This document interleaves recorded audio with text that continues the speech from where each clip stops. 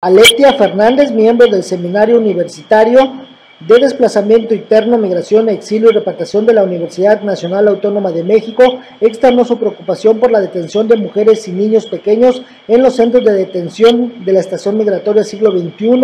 Evidenció que se han tenido tragedias fuertes que han sucedido incluso hasta muertes con niños que han estado en estaciones migratorias. Uno de los puntos prioritarios es el tema sanitario, porque las personas llegan sanas y se enferman dentro de la detención, porque no hay condiciones mínimas para garantizar espacios limpios para consumir incluso agua o alimentos.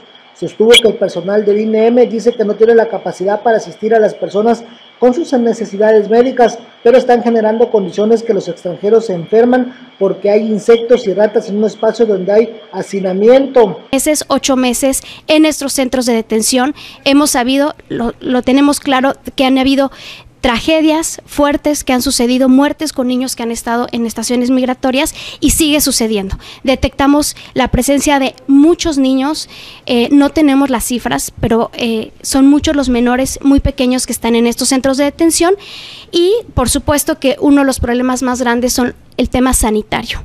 ¿Sí? Son personas los niños, las mujeres embarazadas, adultos mayores, los más vulnerables a enfermarse dentro de estas estaciones migratorias. Es muy importante porque van a empezar a escuchar este problema que hay sanitario, sí, pero no es que las personas llegan enfermas, las personas llegan bien y se enferman dentro de la detención porque no hay condiciones mínimas para garantizar eh, un, espacio limpio y un espacio donde puedan eh, consumir alimentos y agua que esté en buenas condiciones. Coca hasta el momento hay unas 2.000 personas en la estación migratoria siglo XXI cuando tiene una capacidad para 960.